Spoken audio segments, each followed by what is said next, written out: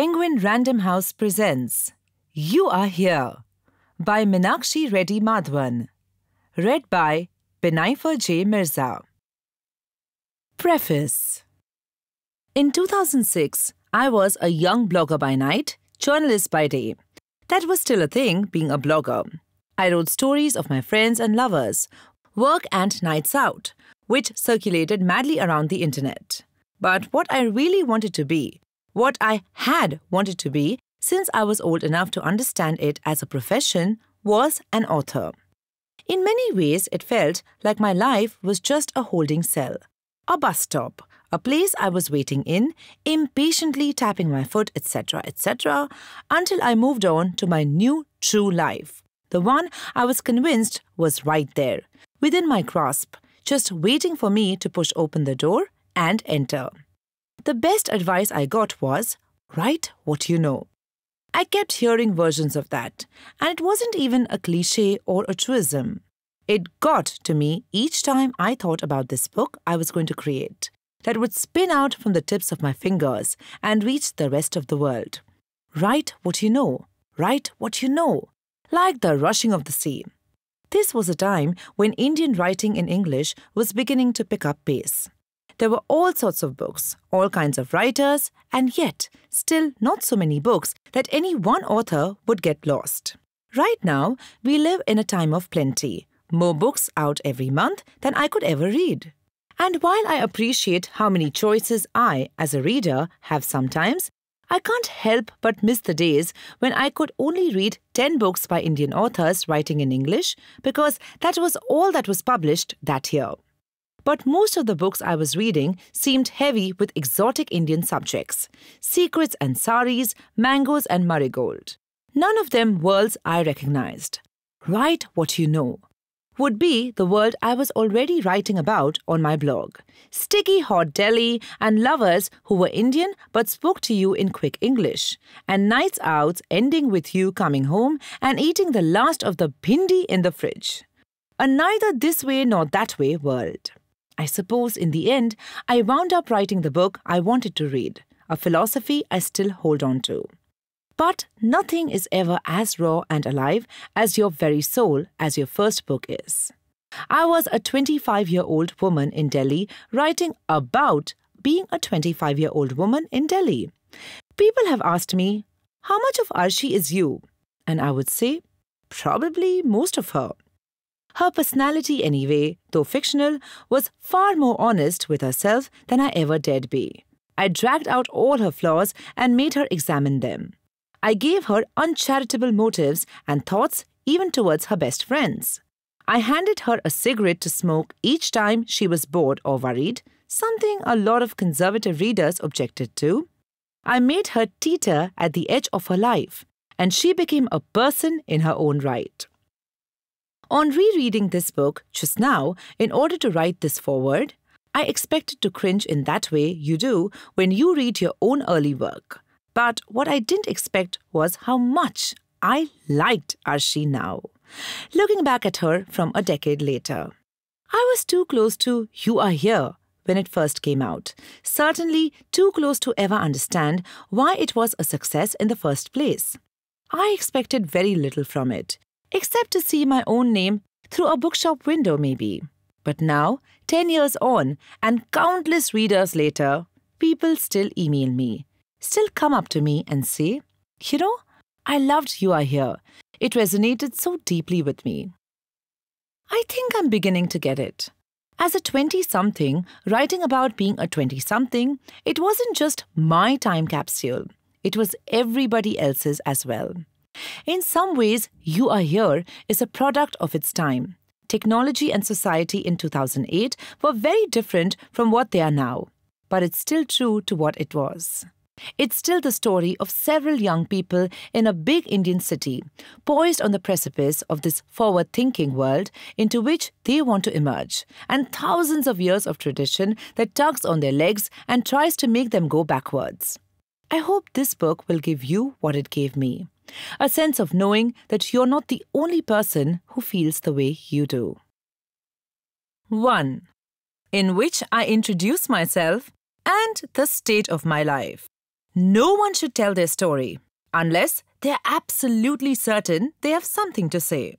I'm actually not absolutely certain that my story is life changing or earth shattering. But I know that the words are collecting at the tips of my fingers, and that if I don't shake them out over the keyboard, they could go backwards and form word clots around my heart. Word clots are worse than blood clots because blood clots more or less kill you as soon as they reach a vital area in your body. But word clots just stay. Occasionally give you heartburn with all the things you could have said but didn't.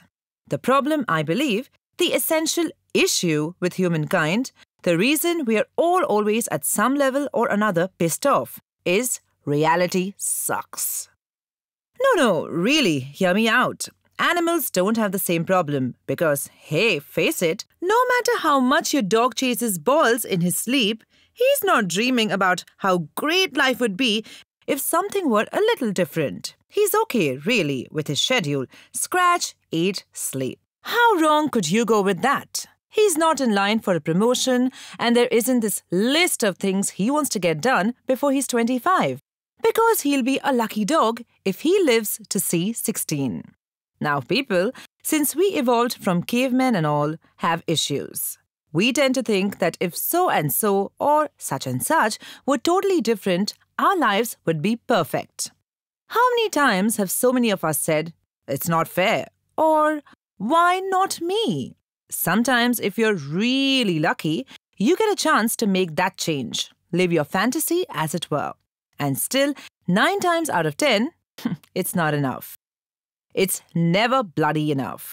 We're greedy as a species, and at the same time, a little pathetic because, well, we're always searching for something or the other outside of our everyday lives.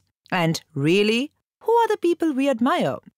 We admire movie stars, people who seem to have their shit together. And who makes the most money? plastic surgeons, for one, and therapists. And again, people in the entertainment industry. Anyone who makes reality look a little less real. True story. You can Google it if you like. The trouble with my life is that it's like a bra strap when you put your bra on wrong. So there's one part of the strap that's all twisted and sticking out under your t shirt, and you fix that. And then the part near the hook becomes tangled. Then, after you've struggled with it for a while because you can't see so far down your back and straightened it out, the bit near your boob is all funny. So, if I've got my career sorted, my love life magically vanishes without so much as a goodbye. Then I've got my love life all perfect, and I'm seeing us making fat, happy babies, and boom! My family is fighting, and so on. you get the picture. My name is Arshi, and I'm 25 years old. I turned 25 about a year ago. I'll be 26 in a month. And I was totally depressed and all because, hello, here I was with a quarter century of a lifetime behind me, and I had zero to show for it. My boyfriend, Chetan Saxena, aka Cheeto, aka line cheating bastard, had just told me of his infidelity. We had been seeing each other for exactly a year and a week when he zoomed off to Manali with some colleagues, one of whom happened to be a pretty young thing who was also his work buddy, as in, uh, she went to the balcony to smoke with him, and she was the one he looked at and rolled his eyes with every time his editor said something stupid, and so, yeah, I guess they were pretty bonded. Evidently, they got even more bonded in Manali. I refuse to use delicate terms like made love when it was so clearly fucking. He, on the other hand, insisted on saying they made love. I hate that about Cheeto.